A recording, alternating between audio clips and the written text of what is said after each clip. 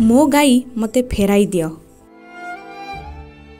ଗାଈ ପାଇଁ ଜିଲ୍ଲାପାଳଙ୍କୁ ଗୁହାରି କରିଛନ୍ତି ଜଣେ ନିରାଶ୍ରହ ମହିଳା। କହିଛନ୍ତି ମୋ ଗାଈ ମୋତେ ଫେରାଇ ଦିଅ। ସୋନପୁର ଜିଲ୍ଲାପାଳଙ୍କ ଗାଡ଼ି ଆଗରେ ଶୋଇଯାଇ ବୃଦ୍ଧା ଜଣକ ହାତ ଯୋଡ଼ି ନିବେଦନ କରିଛନ୍ତି। ଏଭଳି ଦୃଶ୍ୟ ଦେଖିବାକୁ ମିଳିଥିଲା ସୋନପୁର ଜିଲ୍ଲାପାଳ ଅଫିସ୍ ସମ୍ମୁଖରେ। ବୃଦ୍ଧାଙ୍କ ଆକୁଳ ନିବେଦନ ବି ଜିଲ୍ଲାପାଳ ଶୁଣିଛନ୍ତି। ବୃଦ୍ଧା ତରସା ବାଘଙ୍କ ଘର ବିନିକା ଅଞ୍ଚଳରେ। ସେ ଦଶ ବର୍ଷ ହେଲା ସୋନପୁର ମେଡ଼ିକାଲ ବାରଣ୍ଡାରେ ରହିଆସୁଛନ୍ତି ପରିବାର କହିଲେ ସାଙ୍ଗରେ ଥିଲେ ଚାରିଟି ବୃଦ୍ଧା ଗାଈ। ତରାସ ଭିକ ମାଗି ଚଳନ୍ତି। ସୂଚନା ମୁତାବକ ଗତ ଏକତିରିଶ ତାରିଖରେ ସୋନପୁର ଅଞ୍ଚଳରେ ତରାସ ବାଘ ଜିଲ୍ଲାପାଳଙ୍କ ଅଫିସ୍ ବାରଣ୍ଡାରେ ପହଞ୍ଚିଥିଲେ। ଜିଲ୍ଲାପାଳଙ୍କୁ ଭେଟିବା ପାଇଁ ପୁଲିସକୁ ମଧ୍ୟ କହିଥିଲେ। ପୁଲିସ ତରାସଙ୍କୁ ବୁଝାଇବାକୁ ଉଦ୍ୟମ କରିଥିଲେ ବି ସେ ଶୁଣି ନଥିଲେ।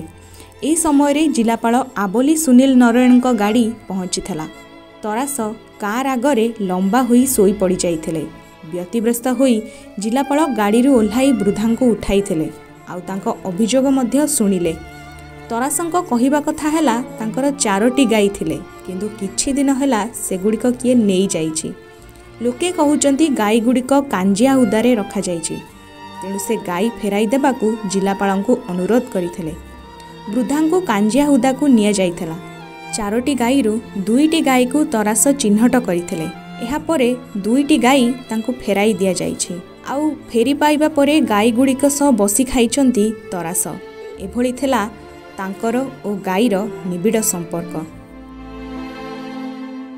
Bureau report metro TV Odisha.